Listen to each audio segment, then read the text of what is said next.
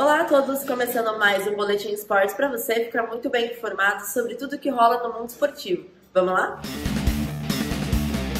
E ontem, no clássico carioca, o Fluminense foi muito superior ao Botafogo durante os 90 minutos da partida no Newton Santos pela 14ª rodada do Brasileirão.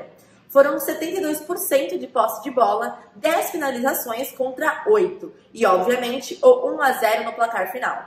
O zagueiro Manuel foi o herói do clássico com um golaço que fez jus ao time que se expôs mais pelos três pontos. Com a vitória, o Fluminense entrou na zona de classificação para a Libertadores, com 21 pontos, na sexta colocação, e seu próximo compromisso será contra o Corinthians no próximo sábado no Maracanã. Já o Botafogo perde três posições na rodada e cai para décimo com 18 pontos. Segunda-feira, no dia 4, a equipe visita o Bragantino lá em Bragança Paulista.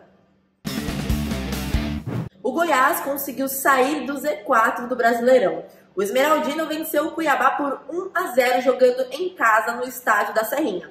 Pedro Raul, artilheiro da equipe e vice-artilheiro da Série A, com 7 gols, foi o responsável por garantir a vitória do time goiano aos 34 minutos do segundo tempo.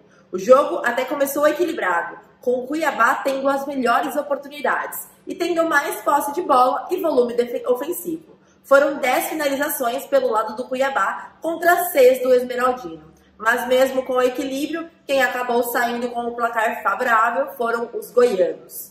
Com a vitória, o Goiás sobe para a 14ª posição do Campeonato Brasileiro, com 17 pontos, e deixa a zona de rebaixamento nessa rodada. Já o Cuiabá segue na 18ª colocação, com 13 pontos.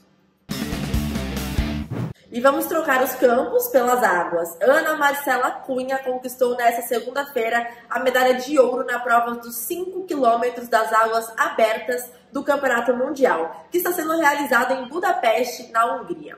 É a 13ª medalha conquistada por ela na história da competição. A sexta na distância de 5 km e o segundo ouro que já havia vencido na mesma prova lá em 2019. Essa coleção pode aumentar ainda em Budapeste, já que Ana Marcela ainda competirá uns 10 quilômetros, distância que é a sua prioridade, na quarta-feira, e nos 25 quilômetros, na qual já tem o tetracampeonato da prova, que será realizado agora na quinta-feira.